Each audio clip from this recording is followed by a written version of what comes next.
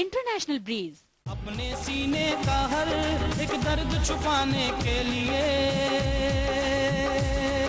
क्षमा जलती है पिघलती है जमाने के लिए। क्षमा जलती है क्षमा जलती है।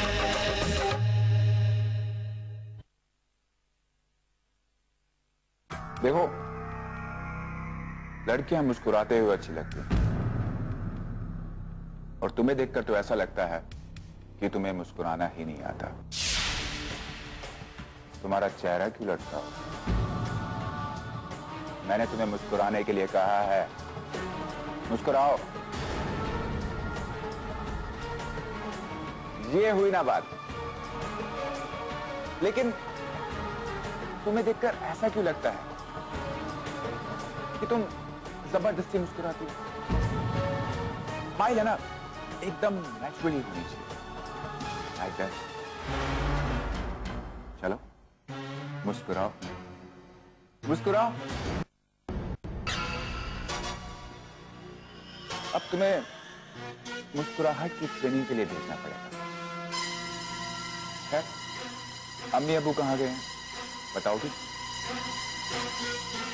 मुझे नहीं मालूम। भजन कहाँ गए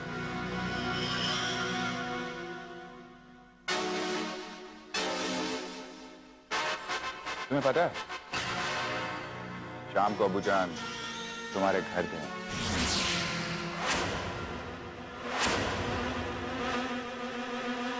तुम्हारे अपने घर।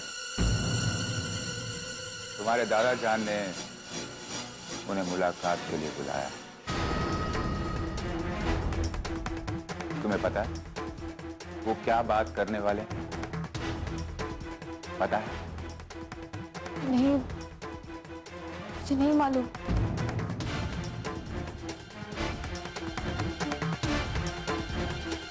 पर मुझे मालूम। वो तुम्हारे तलाक के बारे में बात करना चाहते हो।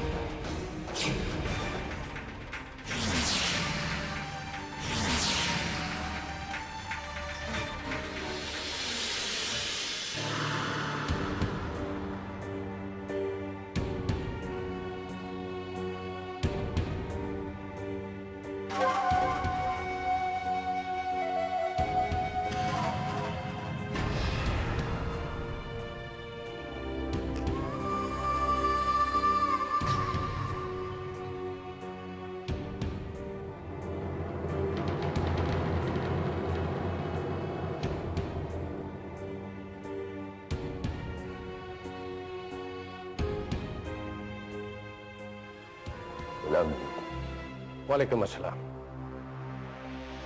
तशरीफ़ रखें फरमाइए क्या बात करनी है कौन सी बात करने के लिए बुलाया आपने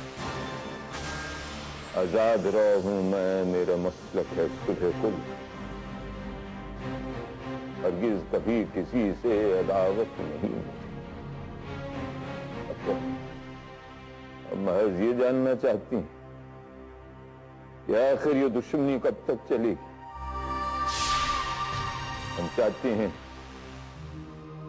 इस मसले को हमेशा हमेशा के लिए खत्म कर दिया जाए।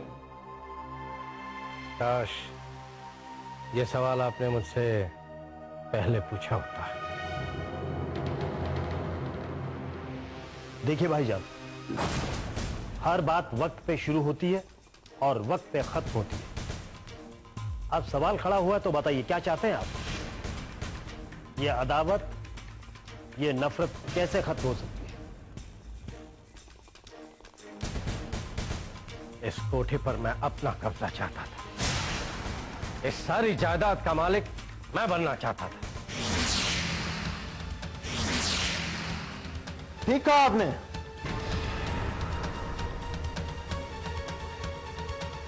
जिस जायदाद को हासिल करके आप हुकूमत करना चाहते थे वो जायदाद तो हमने आपसे छीन ली। हाँ ये बात आज तक मेरे दिल में नश्तर की तरह छुपा हुआ है। क्योंकि मैंने कभी हारना नहीं सीखा। और मुझे शिकस्त देकर कोई समझौता नहीं होगा। अकबर यहाँ शिकस्त और फतेह की बातें नहीं हो रही। हम सिर्फ़ ये जानना चाहते हैं कि समझौते के लिए तुम्हारी क्या क्या शर्तें हैं।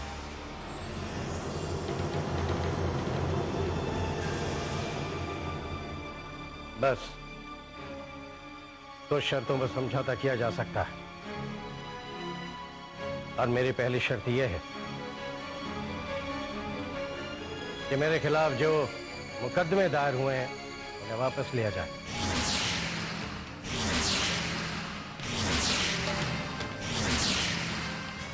और सारे सबूत मेरे हवाले किए जाए।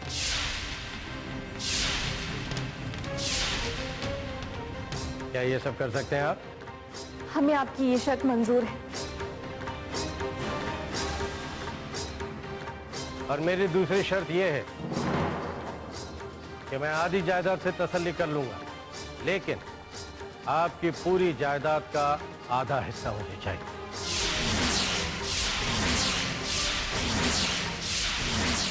क्षमा जलती है पिघलती है जमाने के लिए।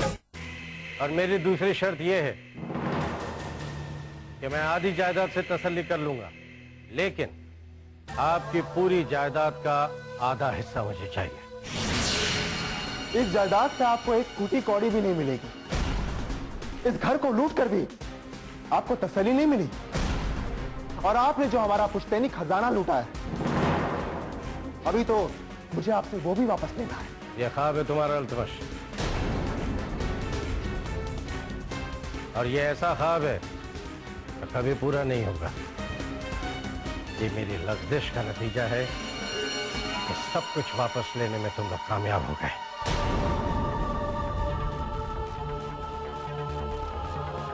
बस इतना काफ़ी आप अल्तमश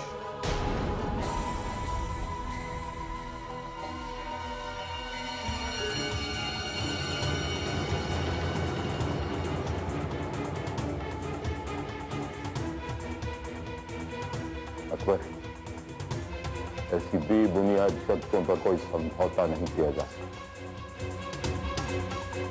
हाँ। हम इतना वादा ज़रूर कर सकते।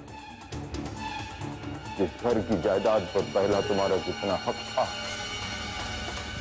वो हम तुम्हें देंगे। हाँ अबू जान जिस तरह से जायदाद का बंटवारा होना चाहिए, उसी तरह से इसका बंटवारा आप कर दीजिए। लेकिन हाँ, हमारे पुश्तैनी खजाने का बंटवारा भी चार हिस्सों में होना चाहिए।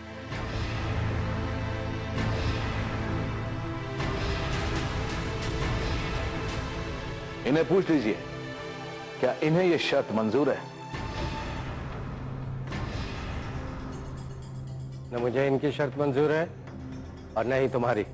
समझे तुम असगर? क्योंकि अकबर जो चाहता है उसे हासिल करने की कुवत अकबर रखता है।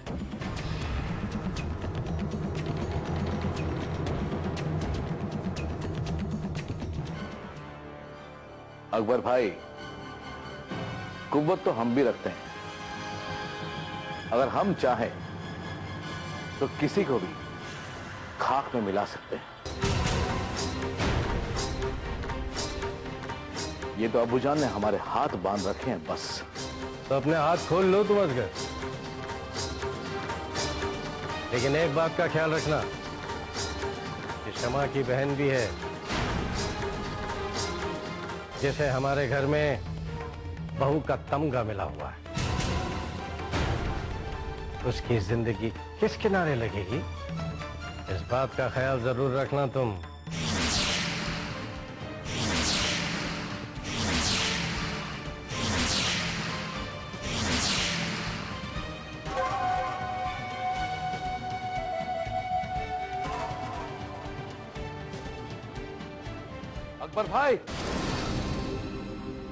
बात का ख्याल आप भी रखिएगा। अगर सोहा के साथ किसी भी तरह की बदसलूकी हुई तो कानून का रंग तो आप बाद में देखेंगे। पहले मेरा रंग देखेंगे आप।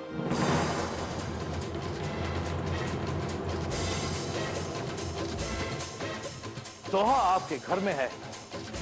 इस बात की धमकी मत दीजिएगा, क्योंकि हम भी इस बात की कुवत रखते हैं। कि हम अपनी सोहा को पाल भी सकते हैं और उसकी ज़िंदगी को आबाद भी कर सकते हैं। अगर आपको कुछ करना ही है तो सोहा और साहिल के तलाक के बारे में सोचिए। क्योंकि हम भी यही चाहते हैं कि सोहा उस घर में नहीं रहे।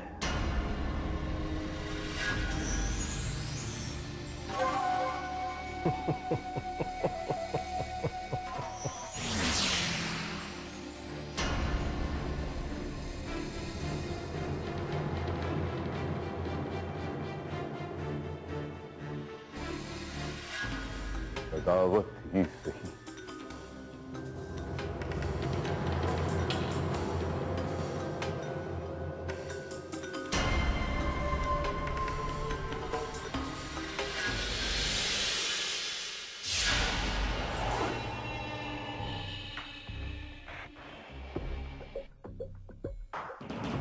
क्या हुआ?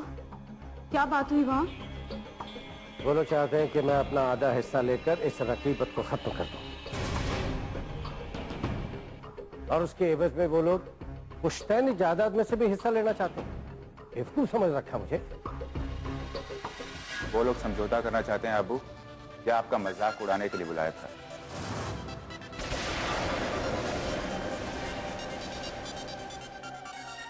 अबू तो समझौता करना चाहते हैं लेकिन असगर और अल्तमश नहीं चाहते। कोई बात नहीं लेकिन मैं उन्हें बताऊँगा कि जायदाद वापस कैसे ली जाती है?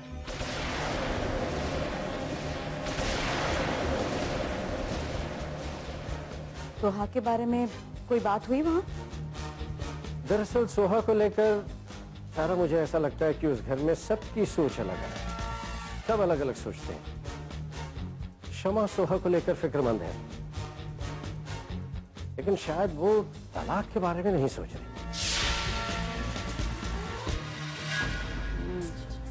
ज़ाहिर सी बात है, अगर उनके दिमाग में तलाक की बात होती तो शमा सोहा को यहाँ छोड़ने नहीं आती। लेकिन फिर भी उस घर में तलाक के मंसूबे बनाए ज़रूर जा रहे अगर ऐसा नहीं होता तो लौटते वक्त असगर मेरे सामने ये नहीं कहता कि जाइए तलाक की तैयारियाँ कीजिए।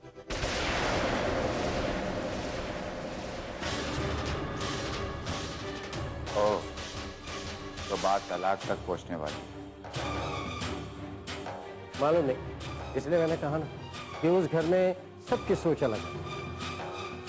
लेकिन फिर भी मैंने एक बात देखी। वो क्या? वो ये कि सोहा ने उस घर में अभी तक ये नहीं बताया कि हमने उसके साथ इस घर में कैसे सलूक किया। अगर उन लोग को ये बात पता चल जाए तो शायद ये बात सचमुच तलाक तक पहुँच सकती है।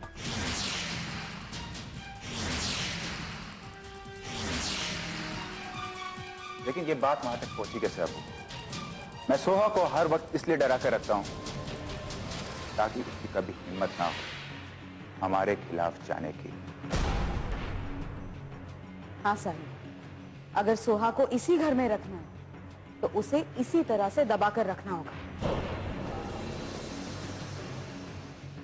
और इस बात का भी ख्याल रखना कि बात तलाक तक पहुँची तो बात बिगड़ जाएगी। ये तलाक नहीं होना चाहिए।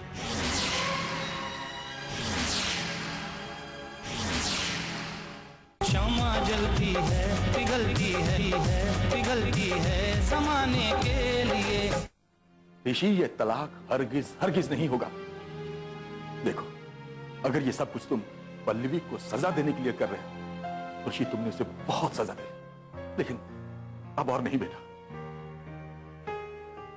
ये तलाक होकर रहेगा। क्योंकि इसके अलावा और कोई रास्ता नहीं मुझे इस घर की इज़्ज़त बचाने के लिए पल्लवी को तलाक देना ही होगा। क्योंकि गौतमी नहीं मानेगी। मैं उसे नहीं समझा सकता। ऋषि एक बाहर की लड़की तुम्हारी ज़िंदगी में दाखिल होती तुम्हारी पर्सनल लाइफ में हस्तक्षेप करती है और तुम्हें कहती है कि अपनी पत्नी को तलाक दे दो। ये कहने की हिम्मत उसे किसने दी?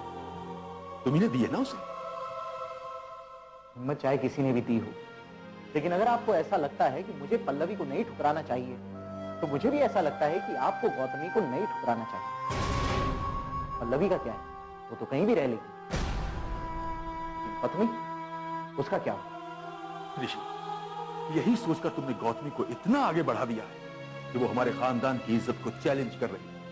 हम सबको चैलेंज कर रही है। तुम्हें याद रखना है बेटा कि वो अकबर के साथ मिलकर ये सारा खेल खेल रही है। ताकि हम झुक सके मजबूर हो सके टूट सके ऋषि। अगर मजबूर करने के अलावा किसी के पास कोई रास्ता नहीं होगा तो आदमी क्या करेगा? अगर इंसान को उसका हक नहीं मिलेगा तो उस हक को पाने के लिए वो किसी भी हद तक जा सकता है। यानी मैं तुम्हारे इस फैसले को अंतिम फैसला समझू। तुम गौतमी को अपनी ज़िंदगी से दूर नहीं करो। ये तो आप भी अच्छी तरह से जानते हैं कि आप सब लोगों ने इतनी कोशिशें की लेकिन आप लोग गौतमी को इस घर से बाहर नहीं निकाल पाए। तो मैं उसे ज़िंदगी से कैसे निकाल सकता हूँ?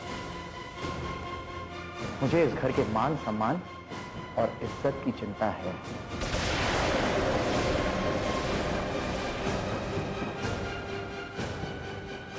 ऋषि अगर तुम्हें इस घर के मान सम्मान इज़्ज़त की चिंता होती तो शायद तुम यह घटिया हरकत कभी ना करते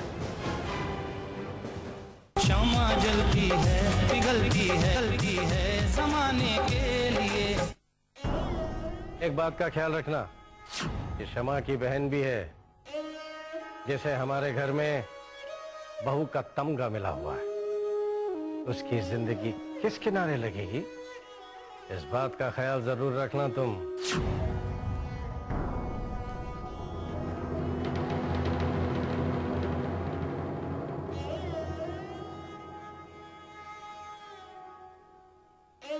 क्या सोच रही हो शमा सोहा के बारे में सोच रहे उसकी ज़िंदगी किस किनारे लगेगी किसी को भी नहीं पता। अल्लाह पे एतबार रखो वो सब ठीक करेगा। गुजरे हुए वक्त को तो वो भी वापस नहीं ला सकता। दामन पे लगे हुए दागों को वो भी नहीं धो सकता। अल्लाह पर यकीन भी तो इसी दायरे में रहकर किया जा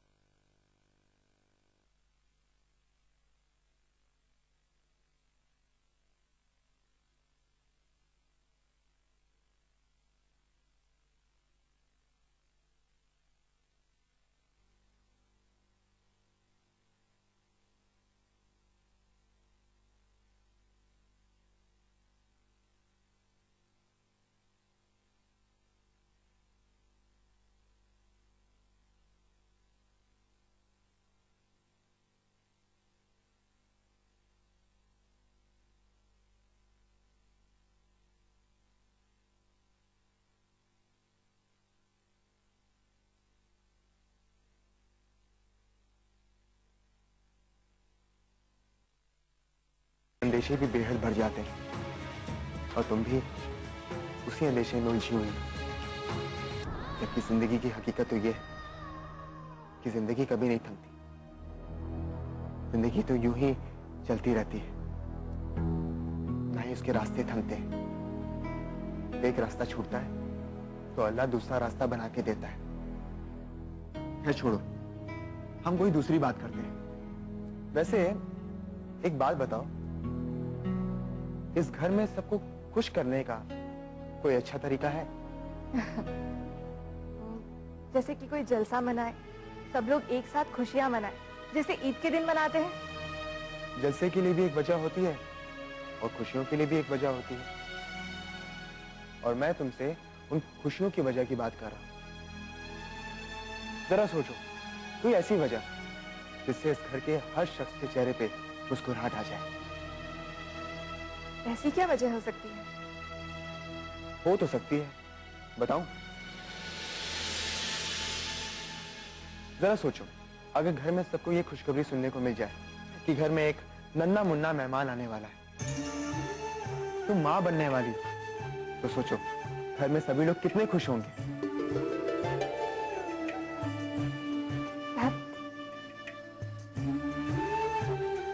अब इसमें धक की क्या बात है? अब तुम शादीशुदा है। हर बात सलीके से कर सकते हैं।